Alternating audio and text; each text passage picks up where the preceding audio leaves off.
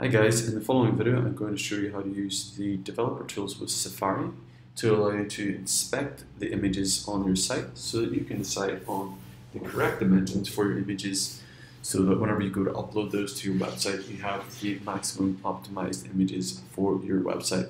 Just remember to check out the tutorial on how to optimize your images when saving them so that whenever you do also upload those that they're the right size in terms of kilobytes, megabytes, etc. So the first thing I want to do um, is go to Safari and go to Preferences because as default you don't have any uh, developer menu um, or options to inspect anything. So first I want to go to Show Develop in the menu bar and with that added you have the developer options enabled. Uh, you can then use Show Web Inspector and that will allow you to uh, inspect the different elements on the site. So you can go ahead and click the little crosshair here and it will show you the different images and their sizes so you can see um, the sizing options just below here and 440 by 600 remember whenever you are thinking about retina devices you will want to add images that are double the size of the container. So in this case I know it's a slideshow so it's left to right. Just think about the height. It looks like it's going to be uh, 600 in height so you'll want to upload an image of 1200 pixels. Why do you do that? Because of retina screens which have double the pixel density of the regular device. So to get a super crisp image, you're going to want to upload something that is double the size. Now, as I mentioned, uh, uh, sliders that go left to right, just think about the constraints via height. That's going to be the most important factor. But in other elements of your site, you'll want to be thinking about uh, the width, for example, and also uh, for other elements, you will actually want to and look at the exact container size.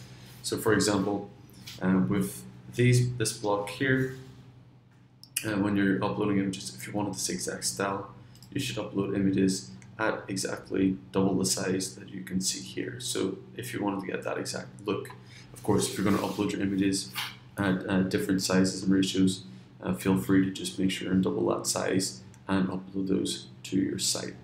Again, for blog posts, for example, you can go and uh, look at the width. Uh, width is important here because the, that is the constraint on the image. Um, if you were to upload a portrait image, and it should be also, you should also be thinking about width because height is irrelevant. It will go up and down, it will fit the space. So always look at the width. So in this case, I look at this image and I see it's um, 809 pixels wide, so I know that I want to add an image of around 1600 pixels width, and you can just set your height to auto whenever you're uh, exporting your images for your blog content.